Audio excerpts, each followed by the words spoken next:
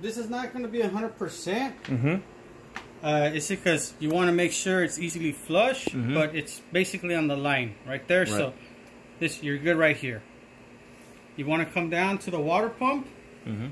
and then you want to go around the pulley, the adjuster, the idler pulley right here, the Mhm. adjusters. You want to push down, but do this. Just Disconnect it. disconnect it to give you some more room. And then you want to go ahead and you want to line it up. You want to start it and you want to go around it. And once you go around it,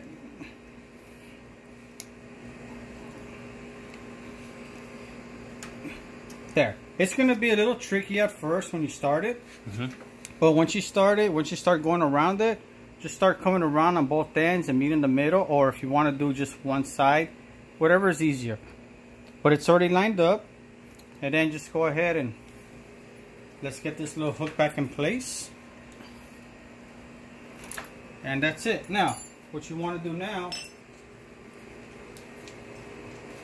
you want to use this to turn the whole entire crank. Mm-hmm. You want to give it three turns.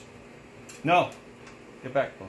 You want to give it three turns between three or four turns complete. Mm-hmm. You want to make sure that everything lines up uh, from the top and the bottom, making sure they line up. Got it. Okay. So, where's the socket for this one? Okay. So I'm gonna stop right there now. Yeah.